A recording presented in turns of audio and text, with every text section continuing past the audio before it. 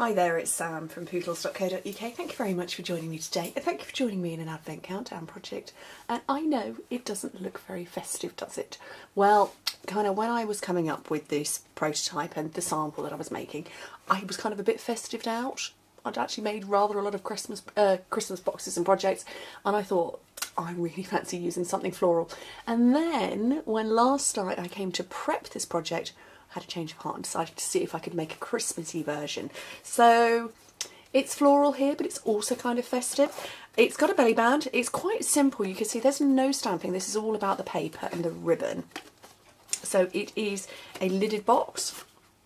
Lid lifts off like that. Can't remember what the finished dimensions are. What are the finished dimensions?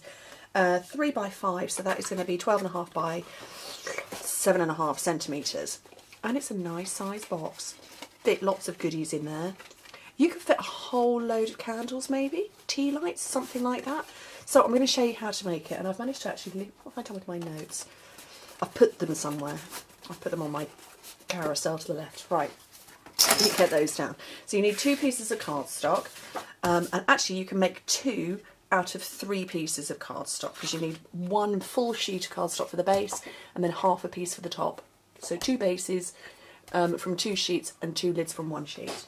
And then you need your simply scored scoring tool. So the base measures 8 by 11 inches, which is 20 by 28 centimetres, and you score it at 3 inches on all four sides, which is 15 centimetres. Is that right? No, that can't be right seven and a half centimetres on all four sides. I'm going to have to go and change my notes. So three inches on all four sides, seven and a half centimetres. Okay, and then the lid is 5 and 1 16th of an inch by 8 and 1 16th of an inch, which is just a fraction bigger. So 3.2 centimetres, no, 13.2 centimetres by 20.7 centimetres. And you score it at 1.5 inches on all four sides, which is four centimetres. And by going that fraction of an inch bigger, that's how you get um, your lid to sit over the top. Okay, let's do some burnishing. So fold all your score lines. This is Smoky Slate. The first one I made was the Naturals Ivory cardstock. This one is smoky slate. So hold it in the horizontal fashion because we need to cut up there because that part needs to fold in and stick to there. Um, but you do need to cut a bit of a wedge out of it. So cut a wedge on one side and the other and hack across and that is so that you don't get an overlap. If these, these two bits of cardstock would overlap like that and it would just be too bulky do the same on the other part.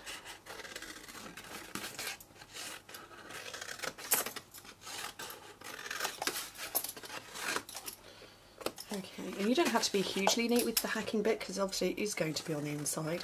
Nobody's going to see it. But these big wedges do make a big difference when you're building this card, this box up. It just helps it all close and look pretty.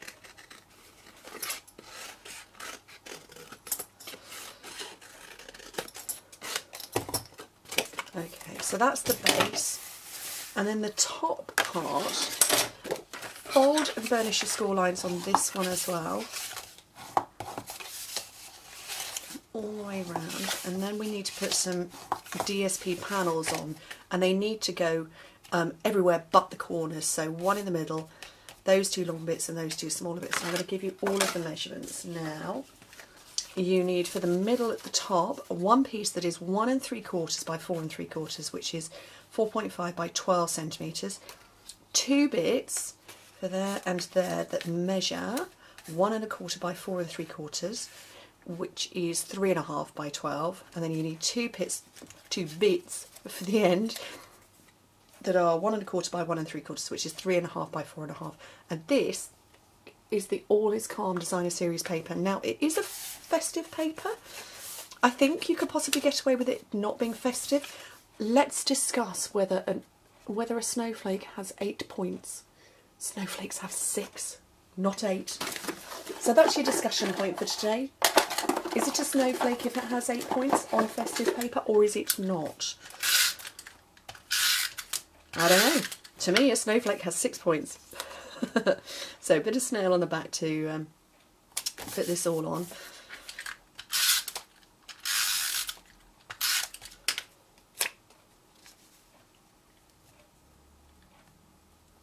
I've got lining up issues today.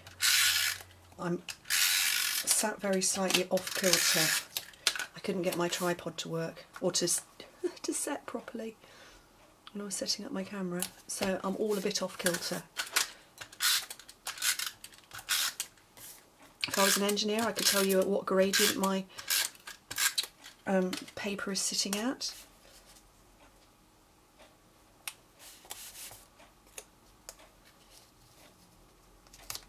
But if this is the edge of my desk, my paper's sat like that right now.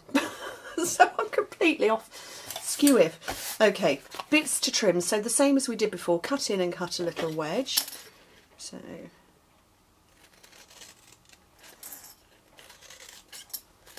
But you don't need to trim across because obviously there's no overlap going to happen this time.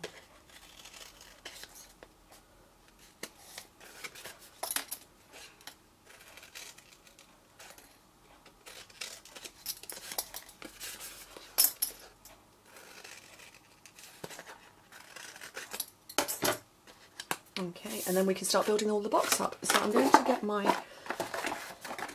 um, fast fuse that's over. It's already out, it's on my desk. And you want to come along onto the panels that are going to stick down. So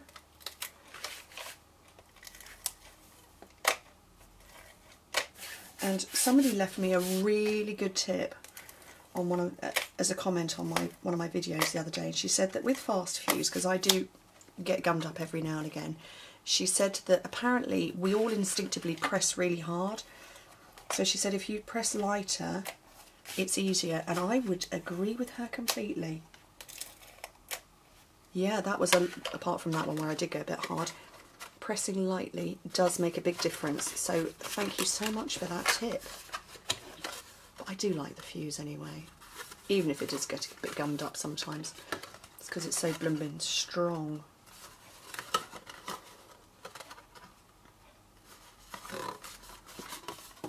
Base done and then the lid.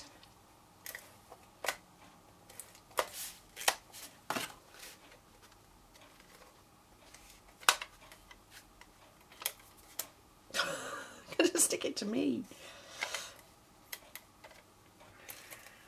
Oh there's Fennel, she's just woken up. Actually I think it's because my next door neighbour's cat is outside the window and she decided to shout at her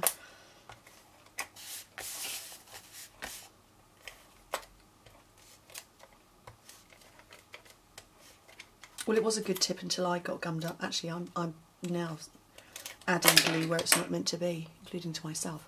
Okay, that was painful, wasn't it? So, close up round for the lid.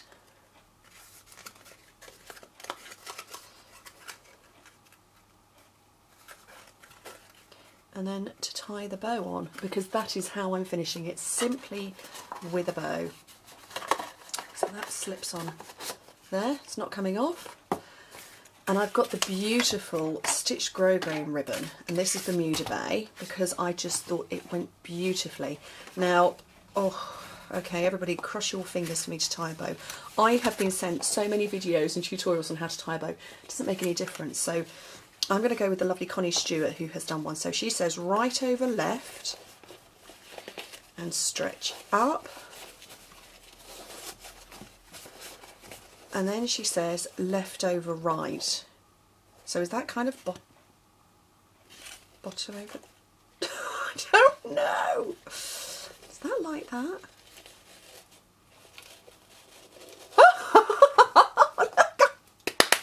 I did it.